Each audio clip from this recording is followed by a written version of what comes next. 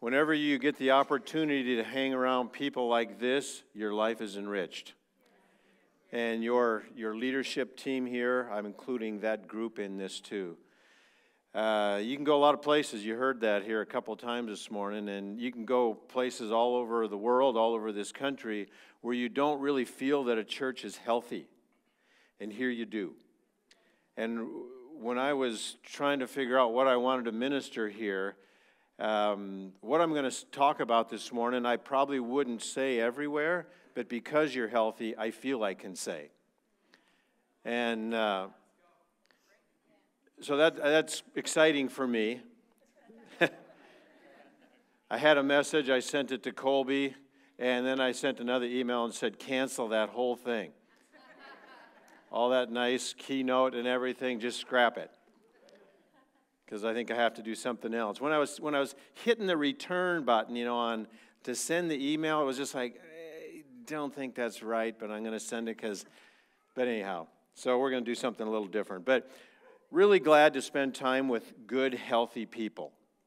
You know, lots of times when we're somewhere, and you could even be on an airplane, you're you're putting out to somebody that needs something, and you get around a group of people that aren't in need.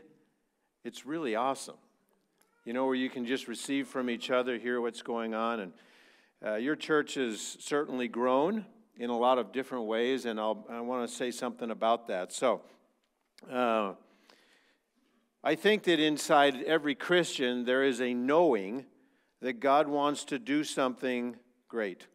He wants to use you. Now, some people will doubt that more than they will believe that which is unfortunate because that's part of even in the pastoral gift is that you're trying to mine all of that up and out of people because what's in you is so precious and so valuable that the church can't function like it should without what you have. And yet the devil tries to lie to people all the time that you don't really have anything that's really worthwhile. You've screwed up your life so much. You've made so many bad decisions. Da, da, da, da. That doesn't change what's inside of you. So if we have to clean some things up, we clean it up so that we can start to blossom where we are. So sometimes, you know, I don't know if people really realize the awesome plan that God has for your life individually and then corporately as a church. That I can guarantee you this it's beyond what you can see today. So, what I want to talk about today is uh, how can we ensure that we get to that place that is beyond what we can see today. How do, you, how, how do you do that as an individual, and how do we do that as a church? And it's not really a big secret, but. So open your Bibles to Joshua chapter 1. And I'll get there in just a moment. When you think about God's plan for man, it took a lot of moving pieces to get from Adam to Jesus, didn't it? I mean, we've got a pretty big, thick part of the Bible. That's the part of the Bible that when I got saved, um, my friends told me, they gave me a Bible and they said, open it up to the Gospel of John and said, start reading here. And I said, why would I start reading two thirds of the way through the book? And they said, well, there's an Old Testament and a New Testament, and you should read the New Testament first. So I said, well, why didn't they put that in the front part of the book then? Nothing made any sense about that to me. So it took a while for me to get back to the Old Testament and start reading some of that. And then when I did, you know, some of the stories you go, okay, those are good. Other parts of it, you're just like, okay, I know God is supernatural and, and Scripture is supposed to be inspired, but the only thing that I can find about some of these scriptures, they are supernaturally boring. or was I the only one who felt that way? You're going, why would he put all this in here? Now, I think this particular one we can find a lot of good things about, but so there was a lot happened between Adam and Jesus, and there were a lot of names mentioned in Scripture. God knows your name too, by the way. And you are a part of something He's been moving and getting into place for a very long time. Way before you were ever born. He saw you, He, he ordained that you would be born and that you would eventually be here. How awesome is it that He can move you around like that? And, and people are not easy to get moved around. I mean, uh, you think about God's job and you go, uh, how does He ever make this work? Because if you were half as stubborn and blind as I was, I don't know how He got you anywhere. So we'll figure that out. But anyhow, then from Jesus to now, God has been working through his body. You know, this great plan of redemption that, that took place, now he's wanting to get out to everyone. Right? We know that. But everyone. So if that's true, which it is, and you're a part of that plan, which you are, and he brought you all together in a church for that purpose, how much more awesome are some things needing to be in the future than you even have today? How much bigger? And we humans sometimes get to our capacity before God is done with us. So we want to enlarge that capacity again. We want to renew some of that in us so our capacity is big enough to get done in and through us what God needs done. Why? Because people's lives are at stake, eternity is at stake. We sang, you know, I didn't know one of those songs. That second one we sang today, that was an awesome song. I mean, you know, Pastor Nate said he was a little weepy. Me too. I was just glad we had another song before I had to come up. Thank you. I mean, those are some good words in that song, aren't they? Wow. And you think about this awesome salvation that God provided for man, and how great of a love is it that He would do all of this to get to people? You almost can't comprehend it with human understanding, can you? What He did for us. And so it's big. God is always working on people to get them into a place where He can do something bigger than they ever imagined. And some of it has to be done together, not just individually. All right. So, Joshua chapter 1. Well, let me just say this more specifically here, too, again. I believe that God has something of greater significance for beyond than you have experienced or seen yet. And whenever you hear something like that, whenever you know something like that, God is going to require something of you for that to happen. And that's why I say I feel I can say this today because you're healthy. So, you know, what, is it, what exactly does that mean? I don't know exactly what that means. That's something you guys will have to figure out. But we can talk about how we can get there. So, in Joshua chapter 1, uh, you remember the Israelites are finally getting to a place where they can cross the Jordan. And, and what is on the other side? Their promised land. This is something that, that the Lord had spoke to Moses about, given them a vision about, you know, this is the land that I've given to you. It flows with milk and honey. I mean, it's good. And how would that sound if you had been a people in bondage for hundreds of years? Your land. A place that has abundance, not scarcity I mean, I, do you think they could even really picture what that meant? I don't know. Maybe they couldn't. But as we know, it took them 40 years to do an 11 day walk. I wonder sometimes how quick I should have gotten somewhere and about how long did it really take me. Ugh, I don't even like to think about that. So in chapter 1, Moses had died. He'd been there a long time leader. And now God is speaking to Joshua, who is now going to lead the Israelites. I think he knew that day was coming, but still, this is a big job. And so, what are the first things that God says to him in that chapter? Be strong and courageous. That's not a good word from the Lord, by the way, because when he tells you that, you're in for something. He's just giving you this anchor word that you're going to need over and over and over again. And by the way, I'm going to give you that same word. You're going to have to be strong and courageous for what God has for you if you really want to do it. If you really want to get to that place where God wants you to be, whatever that means. So he went on and he said, You know, make sure you read this book of instructions, meditate in it day and night. You think, I think you guys are doing that. You have the word before you. You're taught the word. You sing the word. This is exactly what God wants for us. And he said, when you meditate in him, then you'll have success. Not a new word there. We know that. So this wasn't this, this leadership that he gave Joshua now wasn't simply just to lead the Israelites, but to lead them to a place they'd never been before. That's a little different sometimes. He wasn't saying, just keep doing the same thing and wander around the desert. They knew how to do that. He didn't need much practice for that one. Joshua was one of those guys that had been trying to get out of there for a long time. But some things had to change in, in all of their people for that to happen.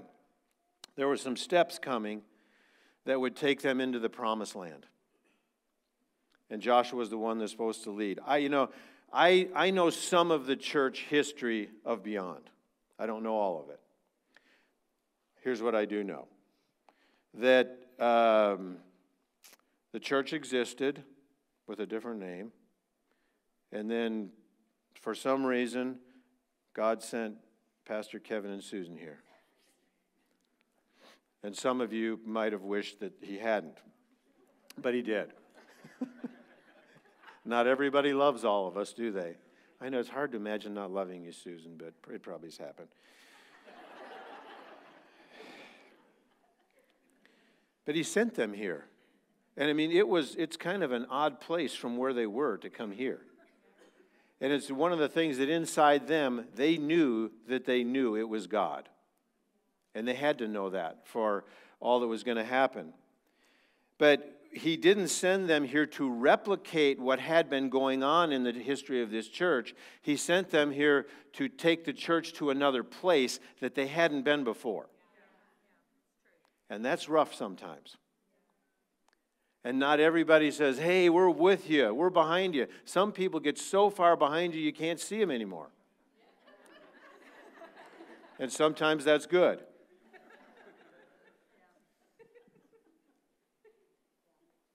So maybe not everybody was thrilled about this new direction.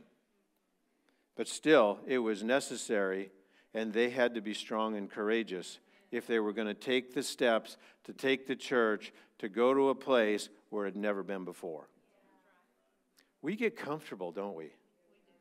Even sometimes when things are, aren't right, we get comfortable. There's churches all over the planet. You know, sometimes you go into a church and visit, and I think, why in the world would anybody waste their time coming here? And that's a horrible thing to say about a church, the place that's supposed to be changing lives. And I'm thinking, I wouldn't come here. I'd come here, just to be clear. So, you know, God sends leaders, like, he, like even when it changed out with Moses and Joshua, he tells Joshua to be strong and courageous. He's telling leaders all over the place that need to change things to be strong and courageous. And then he wants us to go somewhere together. Not splintered, not half of us, but he wants us to go together. Here's the real challenge sometimes why did it take 40 years to cross the desert? Because they had to get rid of some unbelief. There were some people that were going to die off. Did they have to? I, if they didn't have unbelief, I don't think they would have had to. But they couldn't go where they needed to go with all of that unbelief. And how did that unbelief manifest itself in the Israelites? Murmuring and complaining. Um, how does that manifest itself in our lives? That's right. Same way, doesn't it? So, this is a big challenge for any leader. Oftentimes, the assignments that God gives us can be daunting. And that's why we have to be strong and courageous. And I'm not just talking about the leader here now. If you're going to go with a leader who is strong and courageous, who's, got, who's going to take you somewhere you've never been before, you're going to have to walk by faith too you're going to have to have that same spirit to move forward as the leader does. Otherwise, it feels like you're dragging people. God doesn't want anybody to be dragged. They want everybody like, we're with you. I mean, I, I'm not going to read through all the verses that in between, you know, Joshua 1 1 and then you get to the third chapter because basically they said, yeah, if, if the people don't come along, if we find anybody against it, we'll just kill them. It's like, wow. They're, they were serious, weren't they? So these guys were with him. So let's jump over to Joshua chapter 3. And just verses 1 through 5 as a reference.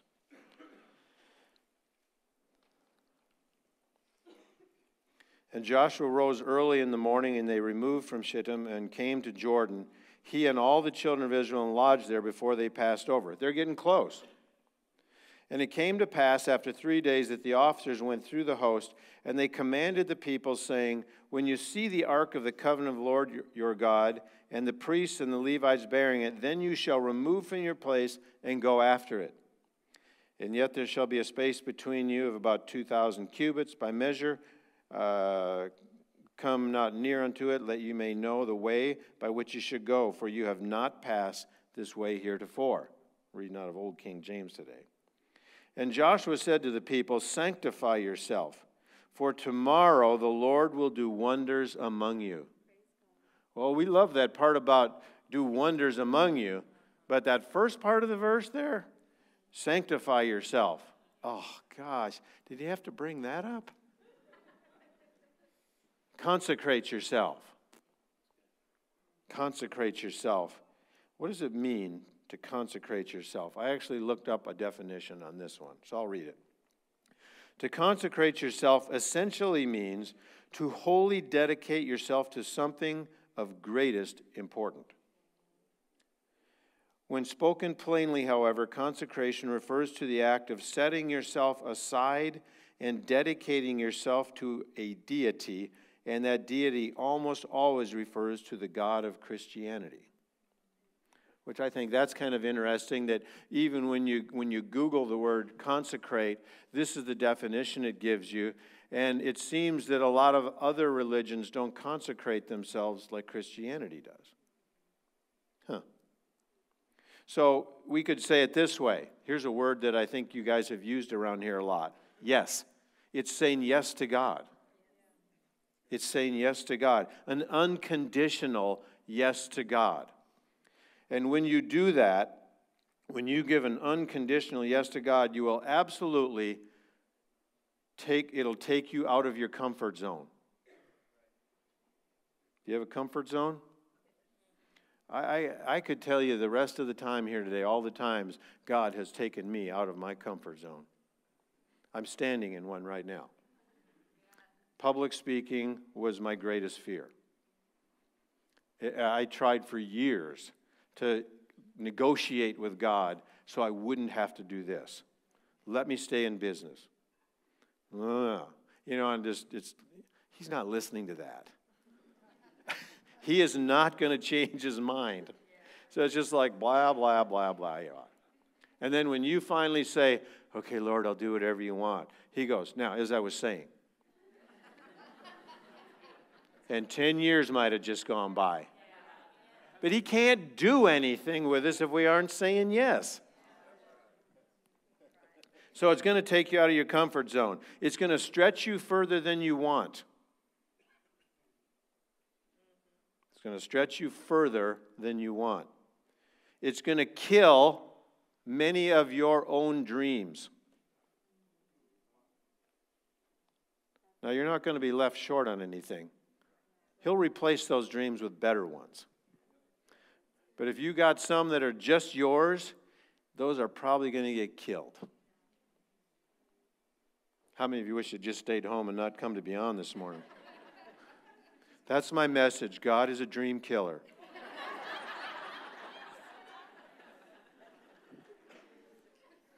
he is. Now, he might move you geographically sometimes. Now, I don't think he'll do that that's not the context this morning. But he did move some people geographically. He did move some people geographically. And I don't know where all the rest of you came from, but maybe he moved you here too. So that can happen. It absolutely will, will require that we trust God. saying yes to God will prove to be the best thing you have ever done.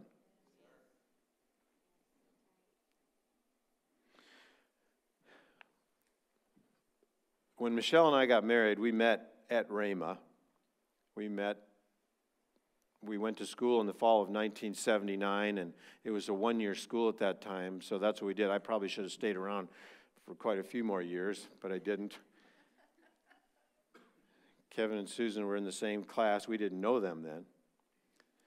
But uh, I went to Rhema because I had a leading.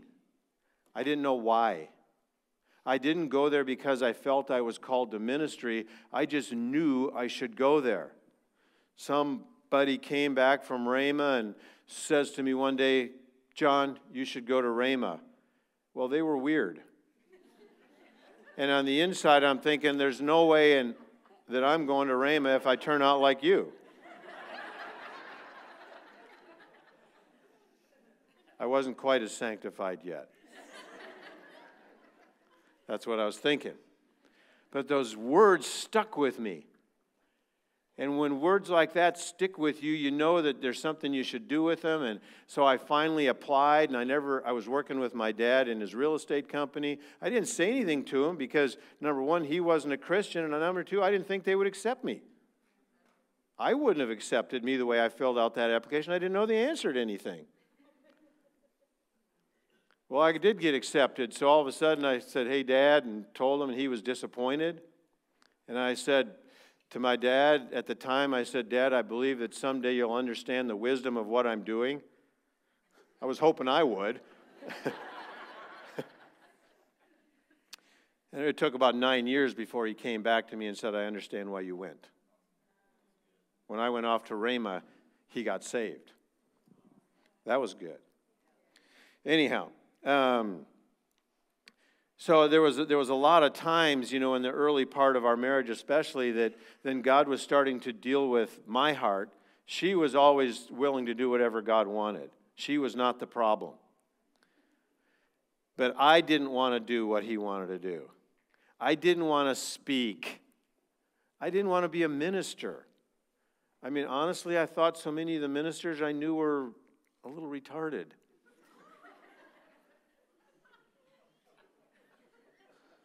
I didn't really want to be in that group. I loved Brother Hagin. I loved how he changed my life. But I don't know if I wanted to be him either. So I was dragging my feet and working, and we're doing fine that way. But on the inside, God just won't leave me alone. And so finally, one day I said, Okay, God, really, whatever you want me to do. I'll do it, even if it includes speaking. Well, I wouldn't. It was the one prayer in my life I was hoping he didn't hear. well, he heard it. And it wasn't long after that, and we went to pastor in Indiana. Uh, so that took a little while. But, you know, my, my unbelief, my lack of consecration was keeping me out of the things that God had for us, and, and then ultimately for other people, too. So my stubbornness, my unwillingness would possibly hurt other people. Well, I don't want to be responsible for that one, do you? So, unbelief. We want to get rid of that. If it stopped them from crossing the Jordan into the promised land, into the place they'd never been before, what will it stop us from seeing? Will we ever get to the place we should get to if we're still resisting somehow? I learned. I'm happy to do the will of God. I will go anywhere and do anything He wants today. Because you're never, you'll never find a more peaceful, happy place than the will of God. If He'd have told me to stay in business, that's where I would have been the happiest. I didn't do this because I wanted to. We did it because He wanted to. It was His will. It wasn't something that we could choose, it was something that He assigned. You have to find out what your assignment is. And for most of you, that will involve being right in here giving your supply. And that makes this body strong. We're not looking for everybody to go out and have their own ministry. Some will, few will, very few will. The most stay right here and make a local church strong. And there's plenty of place to give your supply in a place like this. If you think there isn't, then just keep developing, growing, and you'll, you, will you will find a place. So, in the early 1980s, I don't remember the exact year and probably doesn't matter, but we were, I, we, I were at a seminar, uh, and uh, all I remember is me sitting there. I don't remember who was sitting next to me. But Brother Hagin was speaking, and he's starting to tell a story that I'd heard before. And on the inside, I was going, oh, God, that same old story again. And right then he stops and says, Now, some of you are wondering why I tell these stories over. I mean, I'm turning red. And I'm thinking, oh my God, he's going to call me out by name now. This is going to be embarrassing. And he said, when you get what I'm trying to say through these, I'll move on. And I thought, oh my gosh, it's my fault. he's wanting to share some things, but he can't because I'm sitting here whining about the story he's telling. And right there, I said, Lord, I repent. I will never say those words again. I'll never think those words again. When he tells those stories, I'm going to listen like it's the first time I heard, and I'm going to get something out of it. And we did. We did. I've never thought that again. But, but my unbelief in that form kept God from maybe saying something he wanted to say. I don't know how many other people were in there thinking that that night, but I knew I was. And when he started talking about it, I mean, I'm serious, I turned red. I was like.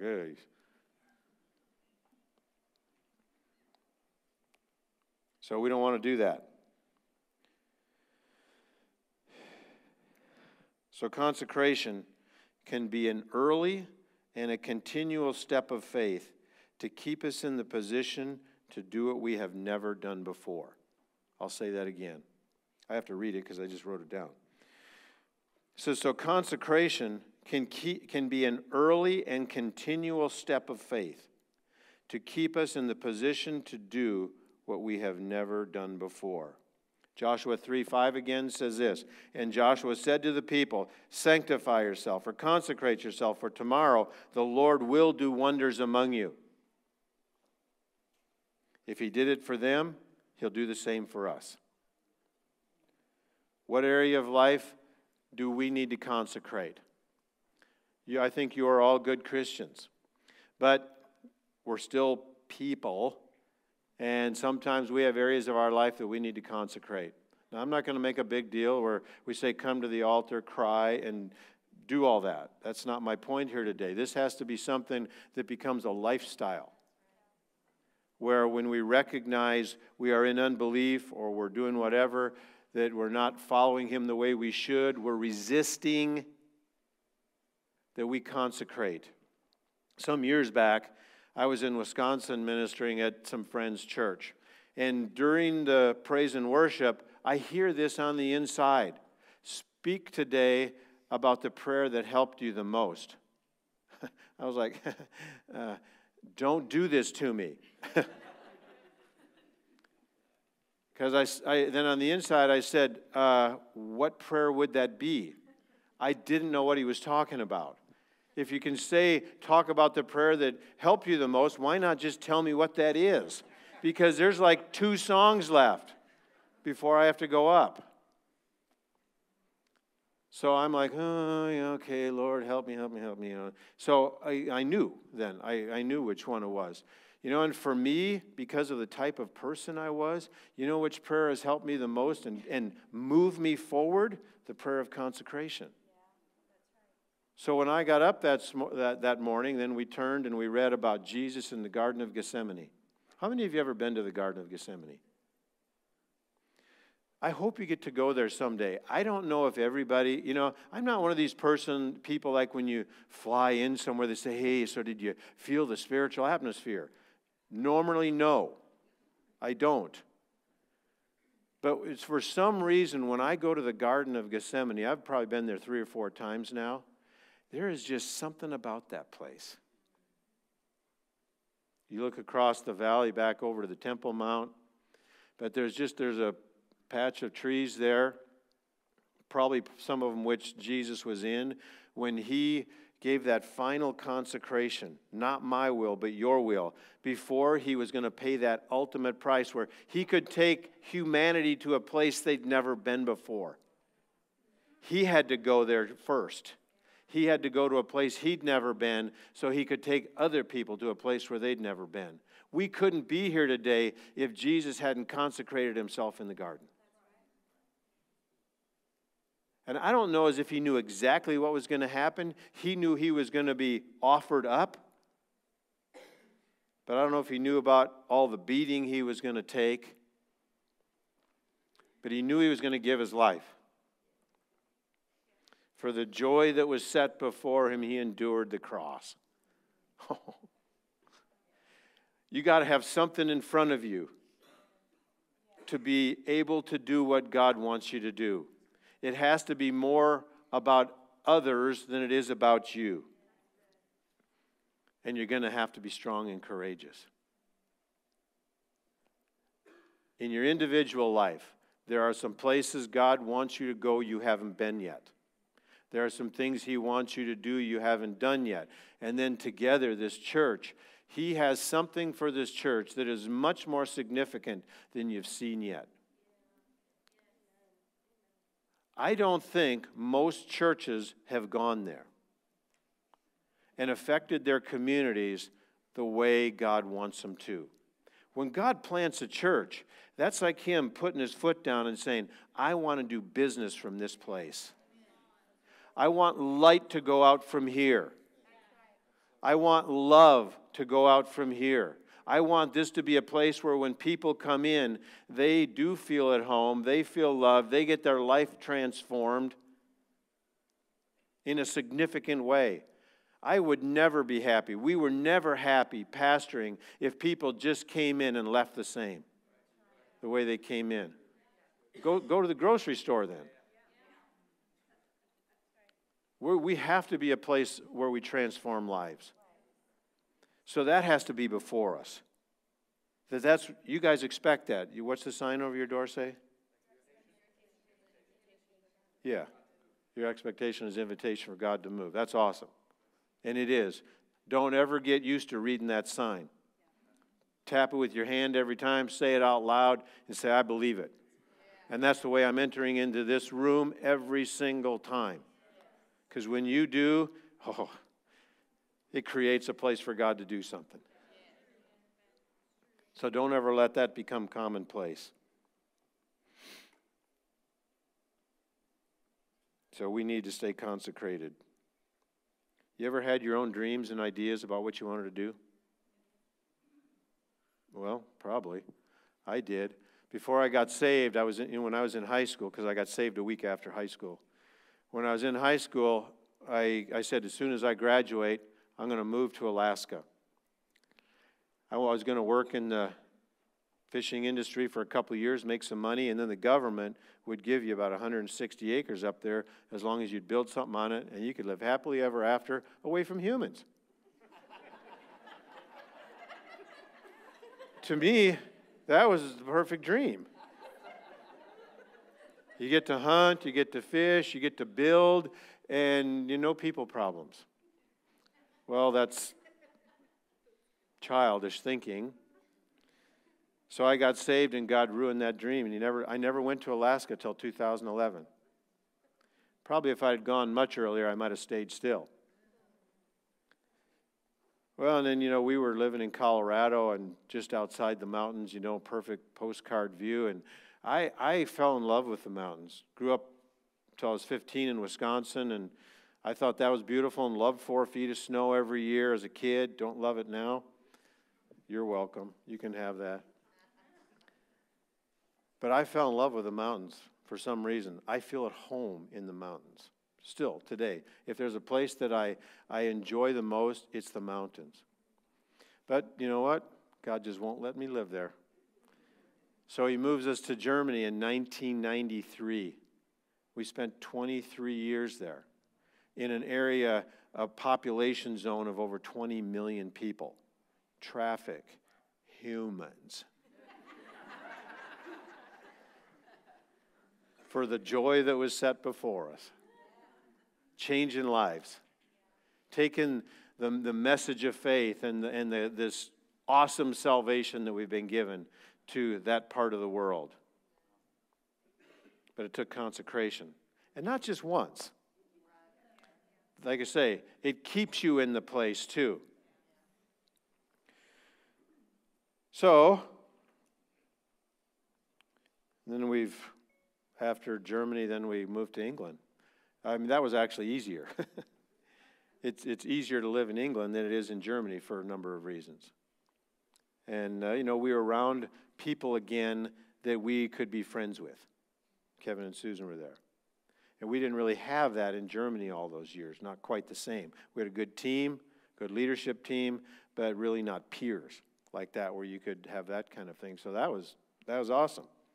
Anyhow, so consecration is something that, you know, we have to it, it has to be kind of out in the forefront continually because otherwise life starts saying I want to do this or I don't want to do this, or I'd really like this, and I'm going to head toward this.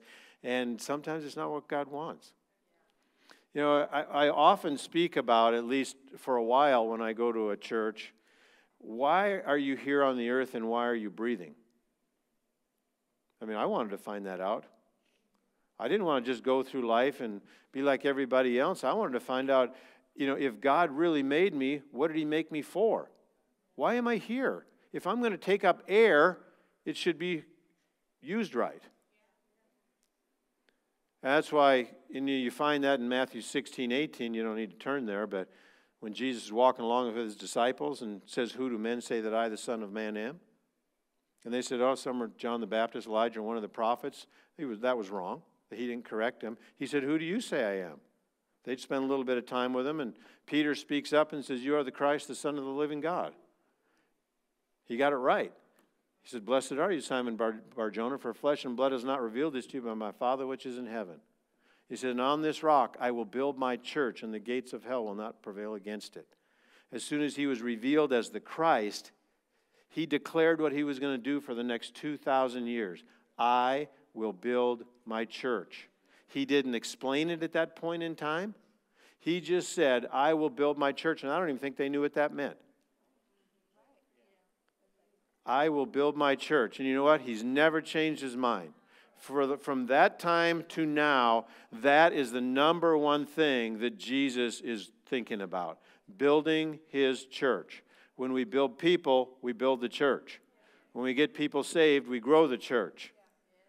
But that's what he's doing. Now you can say, well, but uh, you know, that'd be great if I could work full time. No, that doesn't always work that way either. He needs you out in the marketplace too, because you build the church out there. I'm not talking about working in a church, we're talking about building the church. Big difference.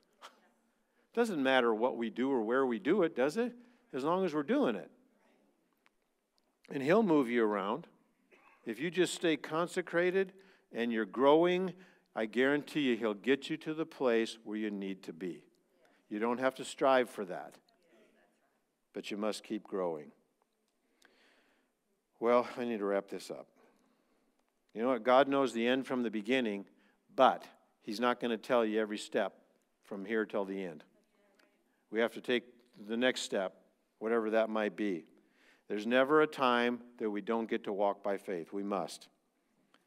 So, whoever you are, whatever God has put in you, number one, if you're not sure what that gift is that He's placed in you, and how you should fulfill your assignment here on the earth, you have to start working on that and figure some of that out. If you're not sure, you plug into a local church and you do whatever they need and you grow. And then, whatever that special gift is, that grace that you've been given, it will start to blossom. You'll start to recognize it, that you have a leaning some, one way or another. But in the house, sometimes we just do whatever's needed. I've said this many times, you know, that when our kids were younger and we were still living in Germany, our trash had to be out early uh, in the morning. And if I hollered up the stairs and said, Uh, kids, time to collect the trash, bring it down. If I heard all the kids say, Dad, we don't really feel very anointed when we do the trash, or we'll pray about it, or we don't feel led. Well, and I'd be right up there going, Well, I'll be right up to help you feel led. the anointing is coming.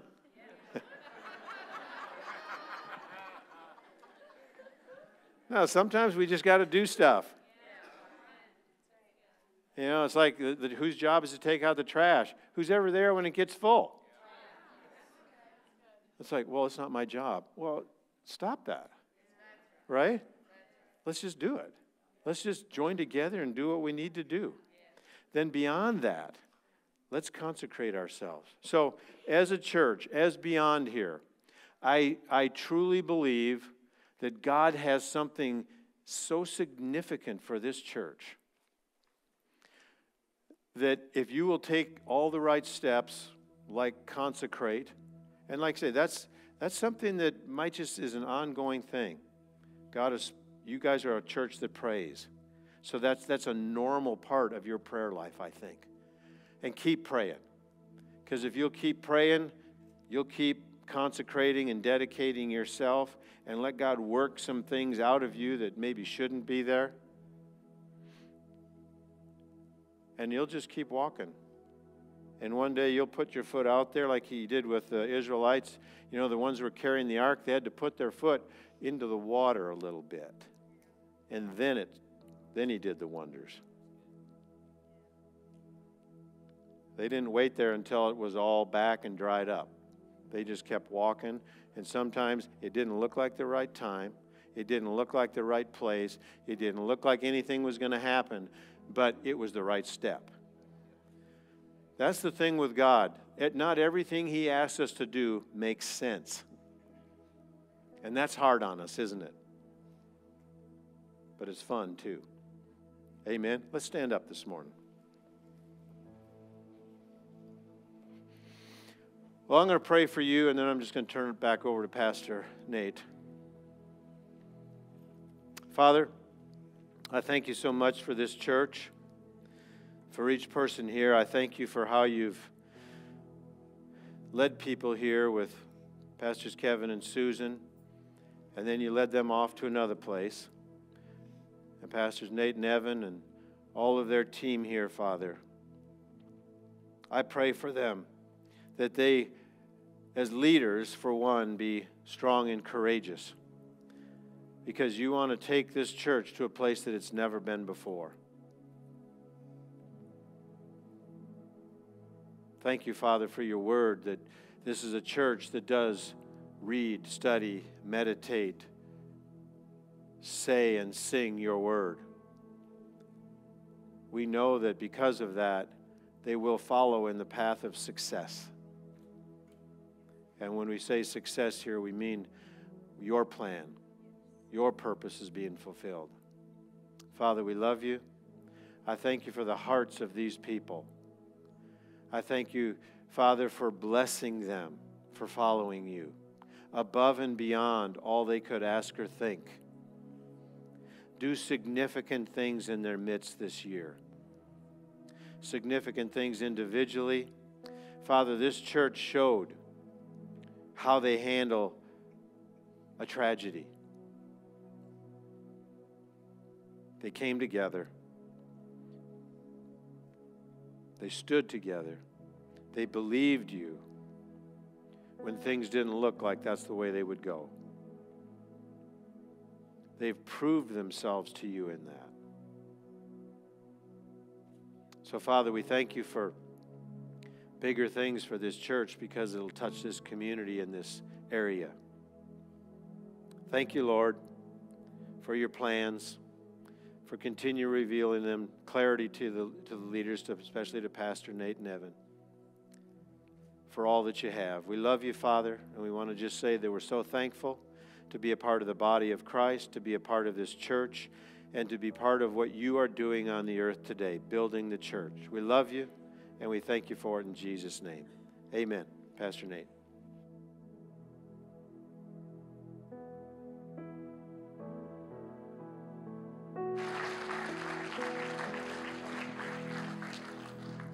To stay down here to close. Um, we're going to dismiss. Uh, and you know, I, I, had this direction in my heart this morning, actually last week, when it comes to the close of service. You know, one of the things that the Lord uh, has directed us to do is uh, He said that His house should be called a house of prayer. And, you know, we've been talking over the last year just about uh, the altar and seeing God move, and making provision available for God to, to, to heal, to do signs and wonders. He hasn't changed uh, to testimonies to go forth. Um, and so we, you know, at the end of service, you know, a lot of times I'll be up on the stage and I'll finish teaching and and I'll say, hey, you know, maybe we give an invitation to, you know, Jesus. Maybe if you haven't given your heart to Christ and say, hey, or if you need to rededicate your life, you just want to come down, take that step, and we would invite you forward. Or if there's, if you need healing in your bodies, this is another thing I'd say. If you need, or if you need healing in your bodies, we'd love to agree with you and see God move on your behalf. And um, the Lord kind of gra- grabbed me this last week and He said, Is everyone in your church healed? Because, and I was like, Well, well, I mean, uh, well, I guess so, because we a lot of times don't have anybody come that needs any healing in their body, because the Bible tells us that this is you know one of the ways you do prayer of agreement, laying on hands, seeing God move. And I was like, okay, well, I guess we just have a bunch of healed people. Let me tell you, if, if you if you walk out of the church sick, that's your fault. That's your fault. And it doesn't bring God glory and it doesn't bring him honor. And so I actually was corrected by by just leaving an open end to even like an invitation. God in, invites, but sometimes it's kind of like this where he talks about hey, go to the highways and byways. Go, go, go invite those people to come because I got a plate for them. I already set the table for them. And that's what he was showing me. He said, I've, I've set the table and I've made provision available.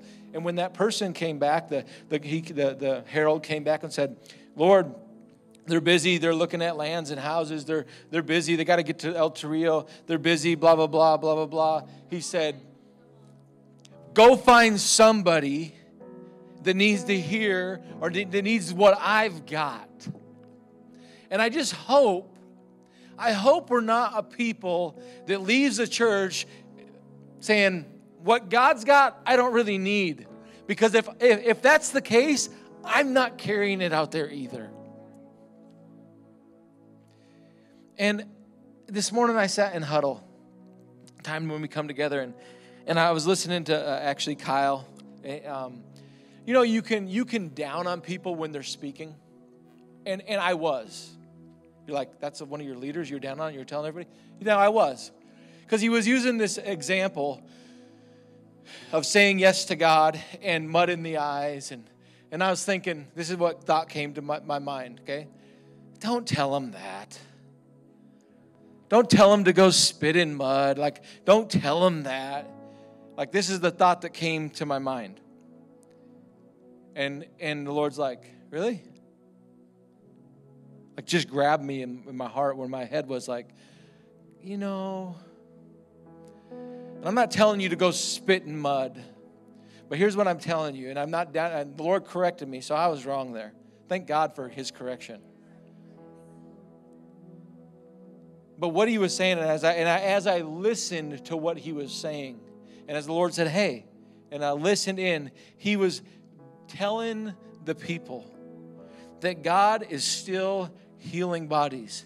That God, what God has set on the table is still for today, that He is so good. Listen, the, the good news is what we're to be carrying. But if we come into a church and we leave without receiving the good things that He has for us, then what in the world are we going to carry? And I am so thankful for somebody that's going to say, let's believe God. Because you know, sometimes you kind of just stop believe, like you get a little bury, right? And it's that iron that sharpens iron that, that gets you back to that cutting edge to where you need to be. Because again, just like John was saying, it's really not, your consecration isn't even so much about you as it is about what God is desiring to do through you. Like, like the people that could be missing out because of what you don't say yes to. So it does matter. And I love that. And I just want to say thank you for ministering today and ministering that word.